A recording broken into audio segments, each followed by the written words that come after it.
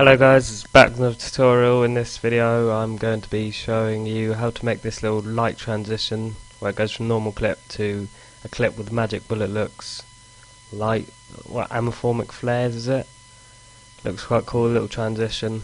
Right, so first off you want to go make a new composition. You can copy all my stuff down, whatever your clip is, choose frame rate, mine's 59.97. There we go. So you just put your clip in you want to make two clips. So on the first one you have to have Magic Bullet Looks plugin for this. For the first one you're going to go and add a basic color correction.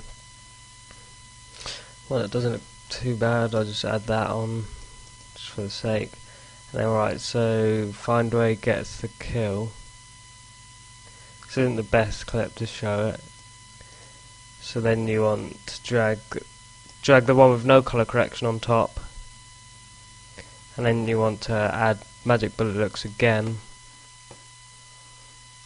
to the new clip. So it's got no but looks on it. I have a looks file called dark CC I think it is. Yeah this is the one I used.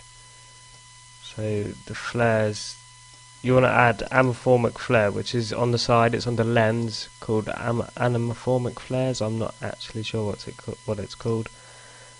Then you want to go and go to the distort menu add CC lens to the top layer the one with the flares and you want to take the size all the way down to zero. Put, press keyframe go forward maybe 15 frames doesn't matter then go to 100 We'll go even more. Just do it until it looks normal. And then I'll RAM preview this. This is really simple. Next tutorial I'll probably do the blue light gun maybe. Oh look you see there in the middle of the screen there's a dot. So we want to open up, press E to open up effects for the layer. So you want to go to it and make it zero. So now it won't appear.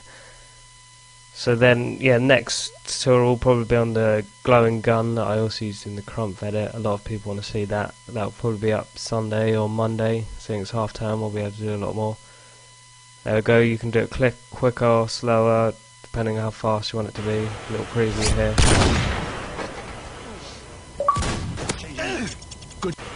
And then all I did is just add in a, I think it's a swoosh transition. No, swoosh. Is it swoosh? Whoosh, it was one of these. They're all sound effects. You want a fast one, if it's going fast, if it's going slow, so it goes whoosh, and does it, yeah, me being an idiot here. Right, so then that's it pretty much. So you can just mess around, if you want the flares to be a different colour, you go into your magic bullet looks, then just mess about with that, change the colour if you want it to be blue, purple, whatever, green. Right, so yeah, leave in the comments what you want to see in the next tutorial. Oh wait, actually I've already said what. Just leave tutorials that you want me to do. If that makes sense. Yeah, if you want to see anything, link me to a video that you want to see. If I can do it, I'll make a tutorial. If you want to watch my last episode, click the annotation in the top left. Click the annotation in the top right to see my next one when it's uploaded.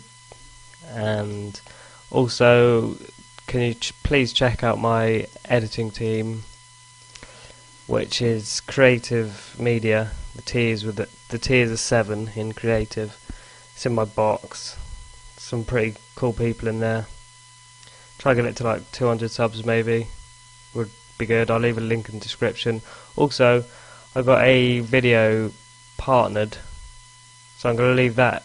One of my tutorials got partnered, so I was quite good. And I'll leave a link in the description. So if you go like, comment on that, that would be really appreciated.